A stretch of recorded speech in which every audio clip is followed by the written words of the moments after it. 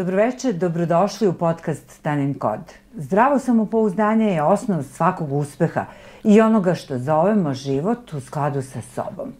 O tome ćemo večeras razgovarati, a ja vas najpre molim da pritiskom na crveno dugme ispod videa i malo zvono pored njega postanete deo ovog finog društva, pratilaca podcasta koji je zona mira, dobrih pouka i poruka i zona ljubavi – toliko potrebnih u ovim teškim vremenima. Hvala vam.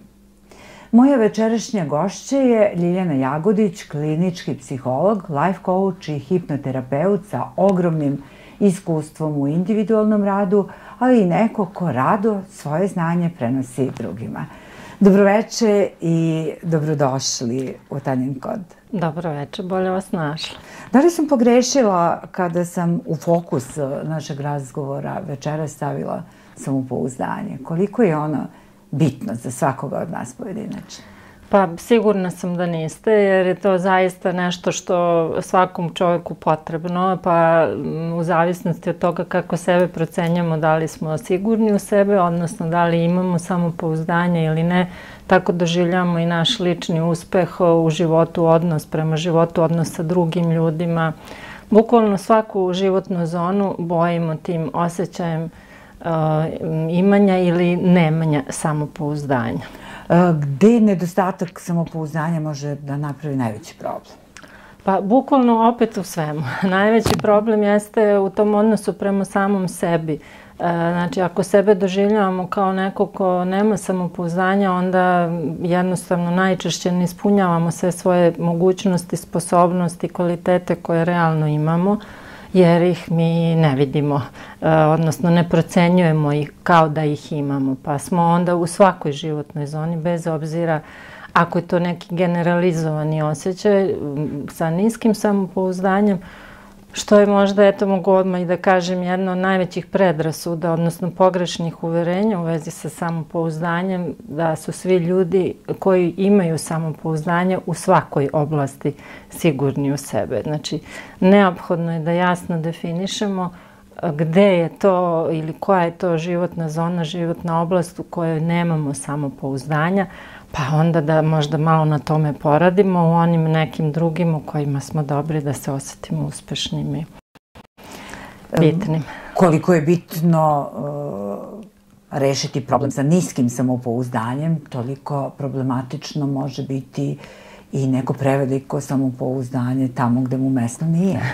Tačno, tu se potpuno slažem, pogotovo kada procenjujemo da smo, recimo, da imamo neka velika znanja u vezi sa nečim čime se bavimo, a u stvari u realnosti naša znanja nisu uopšte takva, pa onda često možemo takve ljude koji imaju to kao preveliko samopouzdanje u stvari nazvati narcisoidnim osobama ili uh, nekim ljudima sa kompleksom više vrednosti koji isto tako postoji. Znači, neophodno je samopouzdanje povezati i sa znanjem, i sa iskustvom, i sa emocijom koju vezujemo za neka određena iskustva i doživlja koje smo u životu imali.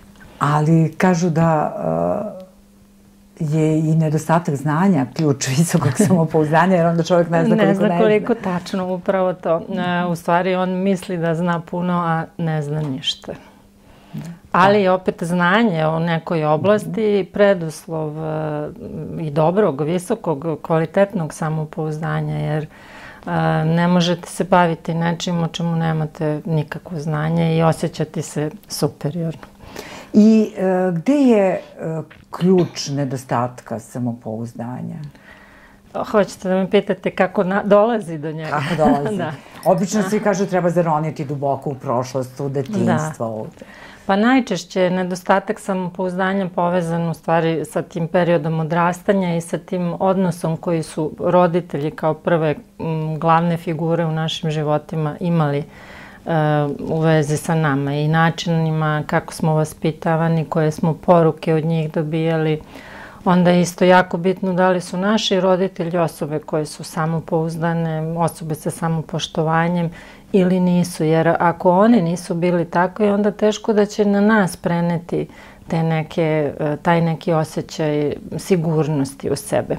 U stvari samopouzdanje jeste neko uverenje koje je obojeno visokom, visokim emocionalnim nabojem. Znači, ili pozitivnim pa smo sigurni u sebe ili negativnim pa smo nesigurni u sebe. E, ljudi koji nisu stručni u toj oblasti najbolje razumeju o čemu pričate kada navedete konkretne neke uh mhm. -huh. Iz svoje prakse. Ja sam to u vašim tekstovima čitala i meni se to čini ovako posebno interesantnim. Pa eto, ako Neki možemo da primer. da podelimo te primere. A, primer osobe koja ima nisko samopouzdanje, recimo jedna moja klijentkinja koja je uh, jako uspešna u profesiji kojom se bavi, ostvarena i kao majka i slično, dolazi da potraži neku stručnu pomoć, uh, verujući i karakterišući sebe u nekim kasnim 30. kao osobu koja nema samopouzdanja recimo i nekako kao da je tek tada to sebi priznala, kao da je sve te godine e, svog života recimo tih nekih 20 ili više godina svesnog usmeravanja u postizanju nekih rezultata e, bilo onako sa previše truda, previše trošenja energije, u stvari se na kraju osetila potpuno iscrpljenom i mm, potpuno uvereno u to da to što ona radi nema mm, nikakvog smisla, nikako je, da, ne, da nije poštovano i priznato od strane drugih. E, pričajući sa njom, e, što naravno pre svega nije bila realna procena da. situacije, Nego je bilo lični, njen lični doživljaj. Znači uvek je to problem sa samopouzdanjem realno proceniti uh, situaciju, okolnosti u kojoj živimo ili radimo ili bilo šta. Pričajući sa njom došli smo do toga da je ona to neko svoje nisko samopouzdanje u stvari ponela sa sobom iz svoje porodice. Pre svega je njena mama bila takva, pa učeći po modelu, jer najčešće se u toku odrastanja ugledamo na roditelje, odnosno identifikujemo se s roditeljima istog pola, Uh, otkrili smo da njena mama isto tako bio neko ko se stalno povlačio, ko nije verovao u sebe, ko je stalno bio u nekom drugom planu i slično. Uh, takva majka um, je sve to prenela i na svoju čerku, uh, pre svega sa nekim porukama nemoj da se ističeš, bolje ti budi onako u, u nekoj... Negde u zlatnoj da, sredini. u zlatnoj sredini, ne, onda nikad ne možeš da pogrešiš i slično. A naravno neka svoja očekivanja koje je mama imala od sebe prenela je i na nju.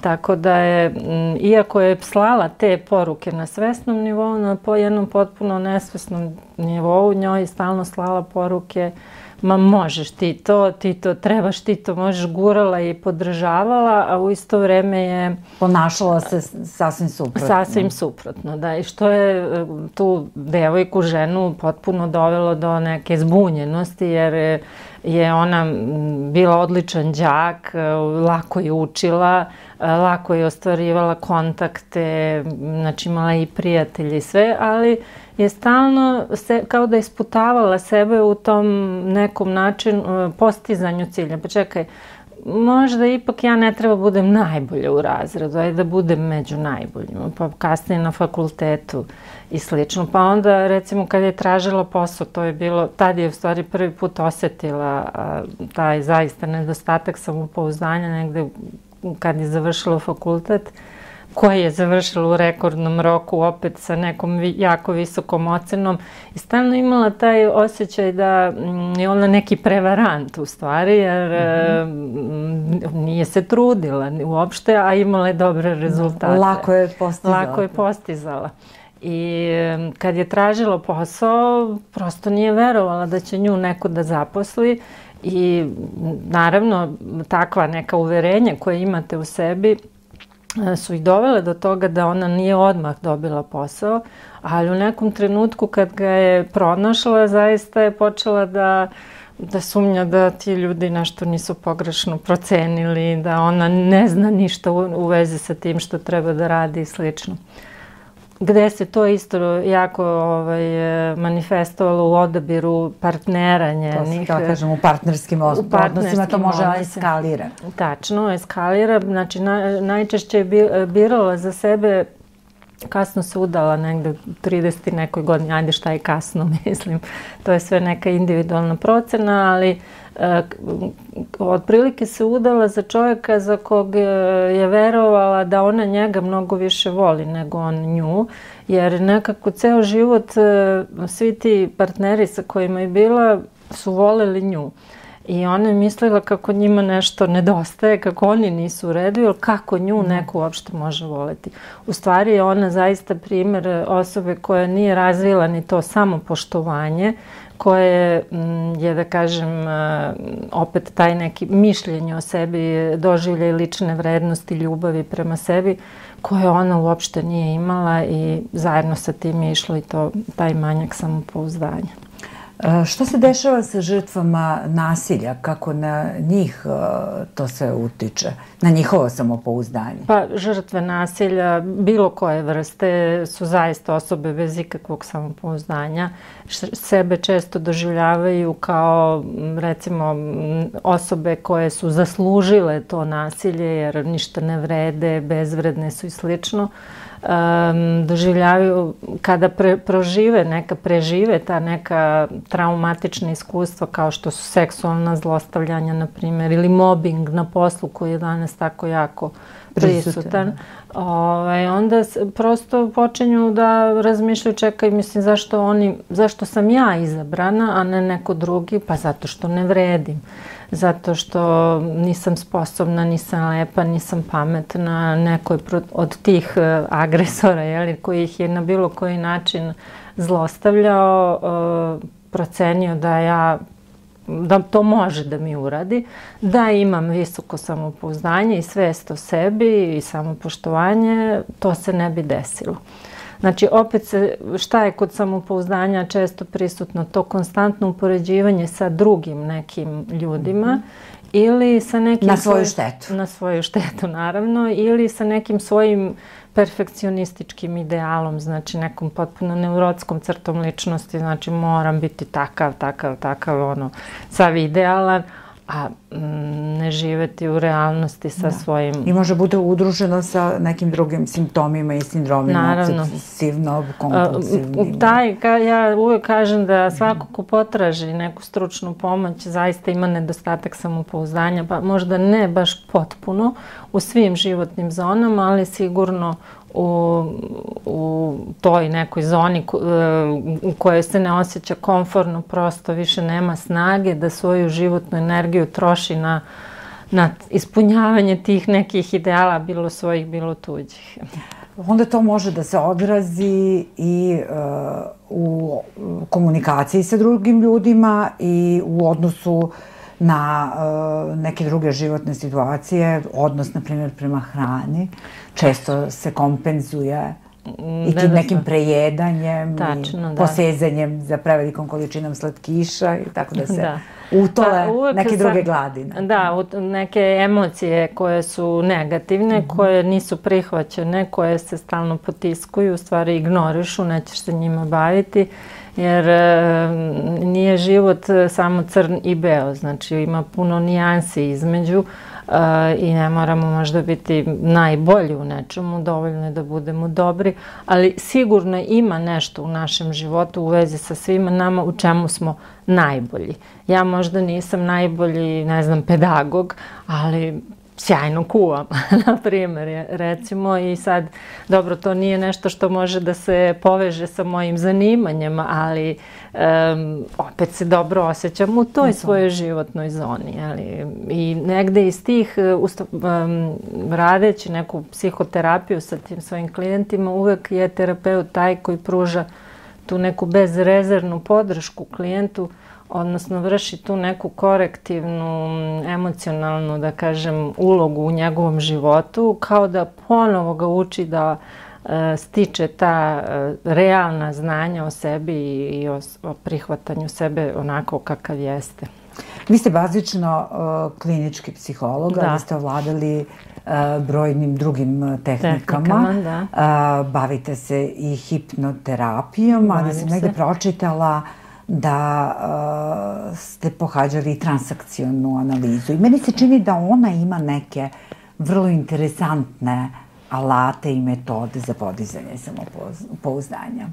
Pa u transakcionoj analizi je naročito značajno ona je podela jeli, onih, onih unutrašnjih stranja, stanja, odnosno onog ja stanja, da, da li one tri vrste ega, dete, odrastao, roditelji, Znači, onaj kritički roditelj je neko ko je naročito odgovoran za uh, razvijanje tog, uh, te nesigurnosti, odnosno uh, neverovanja, nedostatka vere u sebe, što bi bilo to nisko samopouzdanje.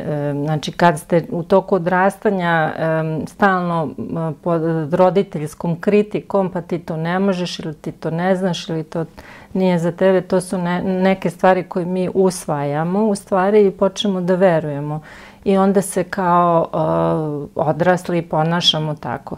Znači u transakcionalnoj analizi baš imate tu, um, u stvari sve je rad na tome da istupaš iz stanja odraslog uh, koji je svestan uh, sebe i svojih uh, i sposobnosti, svojih ograničenja u realnom vremenu, E, naravno da pokušaš da proceniš i neko ego stanje svog e, sagovornika, pa onda da u toj komunikaciji budete u istim ego stanjima, znači ona odlična knjiga uh, ja sam ok, ti si, ti si ok. okay.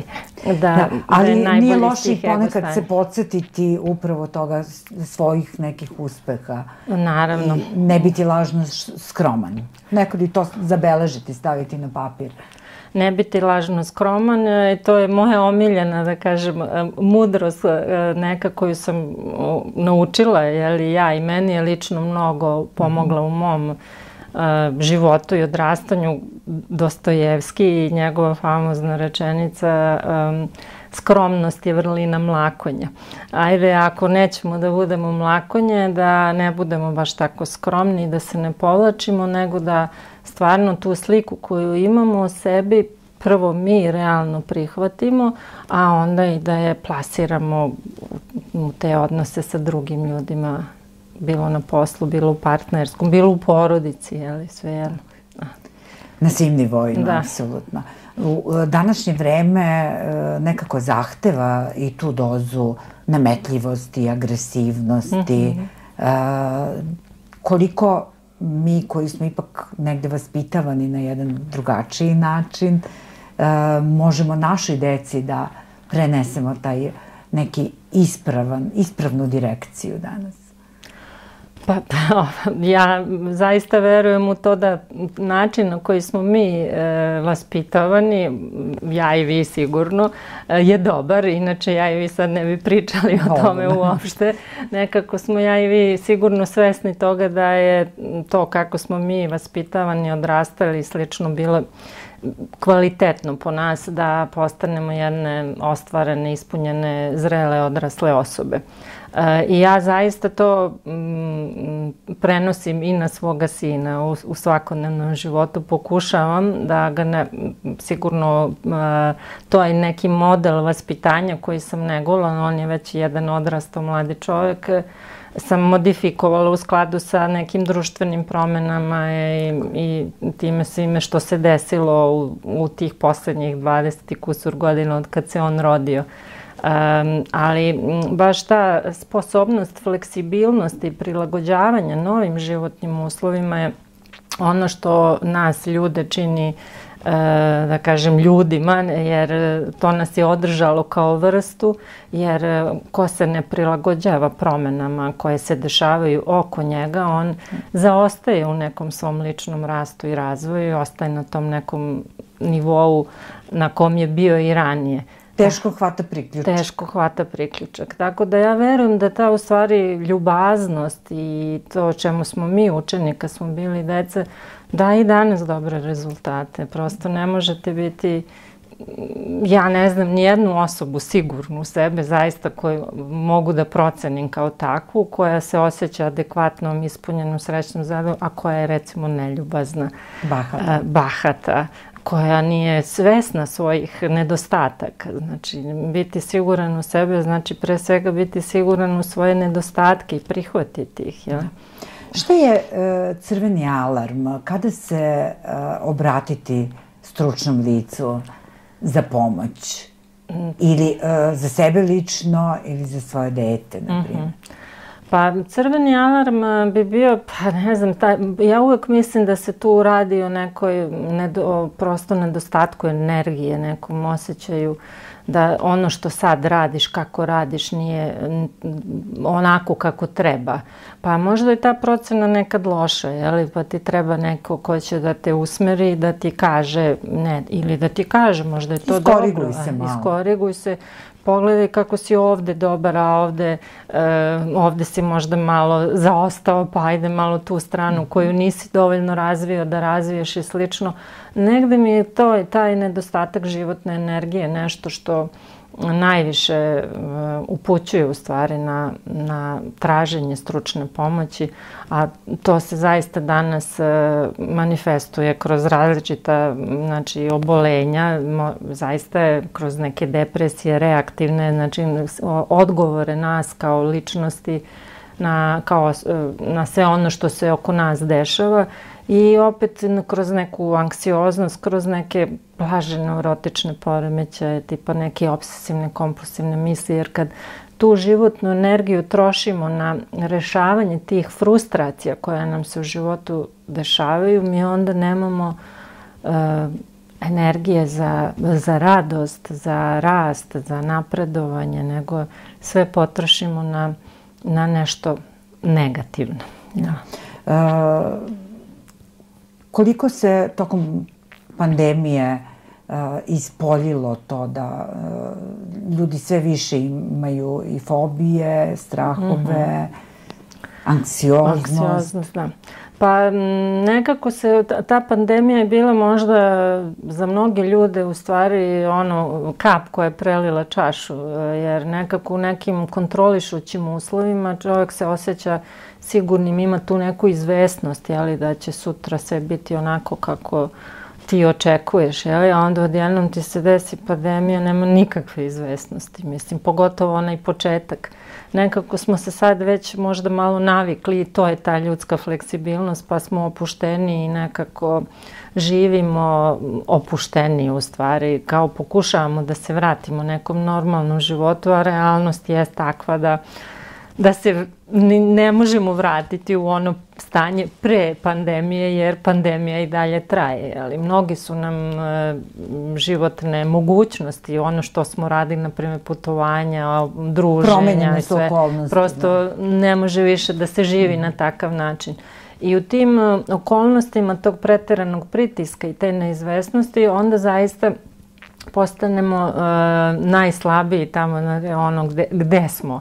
Inače slabi što smo možda pre toga onako prikrivali, nismo ni sebi hteli da, da priznamo da to ne možemo ili slično i onda se raz, različite, recimo meni se čini zaista u radu s mojim klijentima, osim te anksioznosti koja je sve prisutna, koju naravno imam i ja, mislim nije to bolest, svi, svi smo anksiozni kad je pred nama neka nepo, nepoznata situacija u kojoj ne znamo kako ćemo da se ponašamo, ali mi je hipohondrija definitivno ko jedan od tih uh, oblika onako sve prisutan. Znači, uh, strašna um, fokusiranost na te neke telesne simptome koji, koje procenjujemo kao neke strašne jeli, bolesti, želja da idemo da proveravamo svoje zdravstveno stanje, a nemogućnost da to uradimo da. zbog uh, te situacije u zdravstvu sa pandemijom. Da. Tako da... A, koliko ljudi i dalje imaju predrasude da dođu, da se obrate za pomoć e, psihoterapeuta, psihologa, psihijatra? Je pa, to prisutno i dalje? Ali... Pa jeste, prisutno je. Ima mm -hmm. puno, čini mi se da su mlađi ljudi mnogo otvoreni mm -hmm. za tako nešto. Prosto neki baš ljudi koji dosta rade na sebi, njima se to podrazumeva, jeli? Ono, ajde da ja ipak e, proverim sa nekim profesionalcem da li je to kako sam ja zamislio svoj put e, u redu. Možda baš na tom samopouzdanju. Recimo, mladi ljudi uvek imaju nedostatak samopouzdanja jer nemaju iskustva. Da. Znači, potrebno Zbog nam je... Tačno, da. Potrebno nam je neko iskustvo da bi um, se osetili sigurnim. Jel? A onda u radu sa terapeutom osvestite te svoje kvalitete, dobijete tu podršku koja vam je potrebna. A stariji ljudi nekako i dalje zaziru uh, bez, bez obzira čini mi se na nivo obrazovanja. To sam uvek Zbog branio. stigme. Zbog stigme i dobro, opet kada potražite neku psihološku stručnu pomoć u privatnoj praksi, nekako nemate kartone i slično, ali sećam se recimo pre 30 godina kad sam ja počinjala da radim ljude koji su dolazili u dom zdravlja koji su moli, molim vas, nemojte taj karton Samo da, znači, da, ne pišite onu famoznu F diagnozu da to negde ne dođe do nekog mogućeg poslodavca, da, da. na primjer, ili ne da znam, Da ne vuku to kao rep da, za da. sobom, da. da. O, um, znači, a puno puta sam u životu zaista od klijenata doživala u, tom potpunom nervnom rastrojstvu kada dođu, kako bi, kako su rekli, kako bi mnogo lakše bilo da su, da su bolesni, nego da su bolesni od nekih najtežih, neizlečivih bolesti, nego da potraže e, psihološku pomoć, jer u stvari je to za njih jedan abstraktan pojam, oni ošte ne znaju o čemu se tu radi i slično. I da, uh, bavite se i uh, hipnoterapijom. Hipno... Koliko, uh, da li sad, šta mene interesuje, da li se ljudi plaše hipnoterapije, da. Uh, kako ih vi pripremite za to i kako zapravo izgleda ta hipnoterapija, Hipno... koliko duboko ih uvodite? Pa, um, ajde prvo, pre svega da kažemo ovaj, da je hipnoterapija, hipnoza, stanje hipnoza je jedno prirodno stanje u kome se mi inače nalazimo svakog dana, bukvalno, pred recimo ulazak u, u, u, u san, jeli? I to je jedno stanje opuštenosti i ona se u psihoterapiji koristi ne, kao, ne prvenstveno kao, te, e, kao sredstvo koje će izlečiti klijenta, nego kao neka tehnika, strategija koja pomaže klijentu da se opusti i da tim problemima na koje, koje ima priđe sa neke te e, stanja, sa te neke strane opuštenosti, smirenosti, spokoja. Znači, E, kogod dođe na psihoterapiju, on je izuzetno uznemiren jel? i pre svega ga treba opustiti. Čega se najčešće plaše kada im pa, kažete se, psih, uh, hipnoterapija? Plaše se gubitka kontrole. Mm -hmm. jeli? Imaju predstavu o tome, a to su zaista mediji, odnosno filmovi za to odgovorni, da je hipnoza stanje u kome vi nemate pojma šta se dešava. Znači, To je u stvari e, jedno hipnogogno stanje sa nekim posebnim, da kažem, sa posebnom svešću o realnosti, znači ti si opušten, ali si i dalje svestan svega što se oko tebe dešava. Postoje različite vrste hipnoze, znači nije, e, postoji ta Eriksonova koja je zaista jedna e, opu, e, smirujuća, opuštajuća i pr prvenstvena funkcija te e, hipnoterapije Eriksonove jeste to da klijent e, osvesti u sebi mogućnost da ima tu sposobnost da se opusti, jer oni svi misle toliko su uznemireni sve vreme, stalno, da oni ni ne znaju šta to znači biti miran i spokojan. A postoji neke dublje e, hipnoterapije kojima, koje se služe, znači dublji nivoji m, podsvesnog, dolazi se da je regresivna psihoterapija gde se dolazi do, do nekih informacija koje su duboko potisnute, potisnute i gde se recimo u tim nekim hipnoterapeutskim a, dešavanjima u stvari dođe do tih potisnutih sadržaja koji su um, uzroci tih um, neadekvatnih osjećaja, ponašanja i um, realnosti u kojoj klijent živi. Ali svakako su delotvorne. Pa delotvorni su, znači zašto se u stvari klijenti često plaše? Plaše se da će se tu naći nešto što je strašno, jeli? Sa čime ne, ne Sa čime da nemaju snage da se bore, A u stvari u podsvesti nema ničeg osim onog što smo mi već doživeli, ali najčešće potiskujemo one sadržaje koji su bili jako emocionalno negativno uh, obojeni, neprijatni, potrebna je jaka i snažna životna energija da se to uh, prevaziđe, a pošto nismo tu snagu imali, mi smo to negde potisnuli, ali to što smo potisnuli to ne znači da to ne postoji. I onda se u stvari, uh, kad se to nešto otkrije, kad se taj famozni otpor u psihoterapiji prevaziđe, onda se um, klijent, odnosno uloga terapeuta jeste da podrži klijenta da uh, prihvati sve to, da to obradi ponovo tu emocionalnu situaciju kroz koju je prošao, koja je izazvala to negativno uh, negativan taj sadržaj i da to prevaziđe prosto da se nekako onda zaista opusti.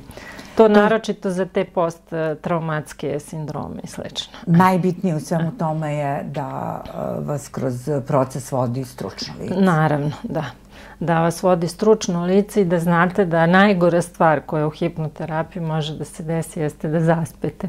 Da se toliko opustite da zaspete, što opet sa strane hipnoterapije nije dobro jer je to vrsta otpora. Opet nećeš da se E, da se m, suočiš sa tim što potiskuješ, a naravno opet potrebno je i neko vreme i to se uči. Što više učite da se opuštate, odnosno što m, češće radite tu neku vrstu terapije, onda recimo možda nekog prvog puta neće uspeti da se opusti pa hipnoterapeutski proces neće biti uspešan, ali posle dva, tri puta kad vidi o čemu se radi, jeli, onda se čovjek opusti i onda hipnoterapija daje, ubrzava u stvari proces oporavka. Važna, e. Važan je odnos poverenja. Naravno, e, i to. A, sve češće čujem da e, ljudi onako amaterski a, koriste te neke sajtove a, sa sadržajima za meditaciju. Mm -hmm. Koliko je to preporučljivo? Raditi individualno, bez uh, stručnog nadzora. Šta vi mislite o tome? Pa ja verujem da je meditacija nešto što zaista može da nam -hmm. pomogne. Znači baš e, našem umu treba svakodnevno i taj e, neki trenutak ili makar tih 15 minuta -hmm. smirenosti. Ako uspemo da meditiramo, e, onda šaljemo poruku mozgu da možemo da kontrolišemo te misli koje nas u stvari um, uznemiravaju. Odnosno, to su misli koje mi pripisujemo tim emocijama koje doživljamo. Znači, prosto um, misao može postojati sama po sebi, bez emocije, ali svaku emociju koju doživimo mi bojimo nekim, dajemo i neko značenje, odnosno mislimo o njoj.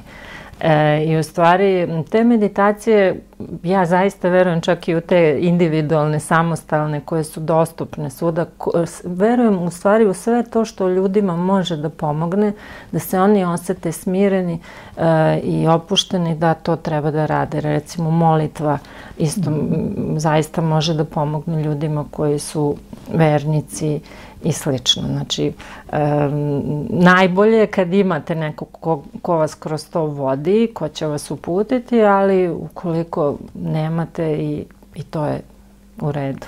Da. Sve ono što je e, čoveku Što može da pomogne, da. da treba, treba koristiti. Sa tim meditacijama je nezgodno jer one zaista potrebno je mnogo vremena da vi naučite da meditirate. Znači, e, poseban taj, e, šta je meditacija, stanje bez misli. Znači, u 21. veku čovjek koji to nauči zaista je fenomenalan i potrošio je puno vremena da, da, da dosegne, da dosegne taj nivo. Ali s druge strane, opet vola bi sad da na, naglasim i m, sa neke tačke teorije pokrno vođenje saosećajnošću, znači da postoji taj jedan saosećajni deo nas koji mi uopšte ne negujemo, naročito ljudi koji imaju nedostatak samopouzdanja, znači ona saosećajnost koju imamo prema sebi e, i recimo e, svest o tome da razumemo sebe, znači saosećajnost je pojam drugačiji od e, empatije. Znači on u sebi sadrži i empatiju, znači razumevanje sebe, ali i spremnost da nešto promenimo mm -hmm. da bi tu taj problem, e, to stanje u kome se nalazimo a, promenili, odnosno da bi se osjećali smirenije, spokojnije. I u toj e, saosećajnosti, recimo, jako su bitne tehnike mindfulnessa, tehnike koje, e, znači, meditacija i mindfulness nisu iste stvari. E, e, mindfulness je u stvari prihvatanje stanja svih misli i emocija koje ti dok dišeš i opuštaš se, prosto dozvoljavaš sebi reku misli, reku emocija i na taj način prihvataš realnost. Jel možemo da demonstriramo jednu kratku, brzu, efikasnu vežbu? evo možemo, ajde. Da vi, budete u ulozi klijenta. Ja. Može. Ajde sad vi lepo ne morate ništa da mi kažete, ali se vi recimo zamislite u neku situaciju koja je za vas bila potpuno neprijatna, možete zatvoriti oči ako vam je tako lakše Dobro. i koja vam često u vašem svakodnevnom životu pravi recimo neku napetost, onaj osjećaj neke telesne senzacije, grudve u grudima, u stomaku ili šta god. Neku takvu mm, situaciju zamislite pa mi recite na skali od 0 do 10 Sad kad ste to zamislili koliko je to jako, znači 10 je najjače, a 0 da nije prisutno. Devetka. Eto. E, a sad, dok polako dišete, udah i izdah. Možete da brojite ako hoćete, bit će vam možda lakše. Udah, izdah, ali je najbitnije da je izdah za nijansu duži od udaha. I dok tako dišete, dozvoljavate svakoj misli, svakoj emociji koja se pro, pojavljuje da prođe kroz vas, kroz vaš um. I dok tako dišete i izdišete, potpuno ste svesni toga da ovaj glas koji čujete, moj glas nije vaš, nego da dolazi s polja. I da ste u stvari nekoj ulozi posmatrača. Isto tako kao što posmatrate svoje misli koje sada prolaze i koje su u stvari izazvale tu neprijatnu emociju koju ste osetili. A sad ću vas zamoliti da zamislite neku divnu situaciju, možda čak i namerno stavite osmeh na svoje usna i da zamislite neku okolnost ili neku osobu koju volite, sa kojom vam je uvek prijatno, sa kojom se uvek osjećate dobro, smireno i spokojno, sa osmehom na licu. Isto tako dišete. I razmišljate o toj osobi, šaljete joj neku poruku dobronamernosti, dobrih želja ili toj situaciji svejedno u kojoj ste bili. Možda želju da se to ponovo desi. I sad ću vas pitati, posle ovako kratkog trenutka, kako se sad osjećate na skali od 0 do 10? Da li je ona telesna senzacija jednake jačine, ona emocija ili je možda manja, slabija? Mnogo bolje. Mnogo bolje. Eto. Ovo je jedna ubrzana verzija vežbe koju, koju treba raditi. Znači, nisam htjela sad ovde da to radimo dugo, ali zaista je vrlo jednostavno i nešto što možemo svi sami sebi svakog dana kad nam je potrebno da pomognemo, u stvari budimo tu saosećajnost, a naročito bitan element jeste taj namerni osmeh na usnama, jer naš mozak mm. pamti sve, pa i to da kad smo opušteni i smireni, često imamo osmeh na usnama, a kad nismo, da smo namrgođeni. I čim nabacite taj osmeh, odma uh, mozak dobija poruku, čekaj, ovde nema opasnosti, sve je mirno, ajde, mogu sad da se opustim i smirim. Diljana, hvala vam na ovom divnom razgovoru i na gostovanju u Tanjinom kodu. Hvala vama što ste me pozvali. Za kraj jedna pouka. Parafrazirat ću Hansona. Ne čekajte da sve bude savršeno, jer nikada i neće biti. Uvek ima i izazova i prepreka. Pa šta? Počnite sada. Sa svakim korakom koji napravite bit ćete sve jači i jači, sve stručniji, sve samopouzdaniji i sve uspešniji. Pišite u komentarima ispod videa, sugerišite, predlažite. Tanin kod je tu za vas i zbog vas. Lepo večer vam želim.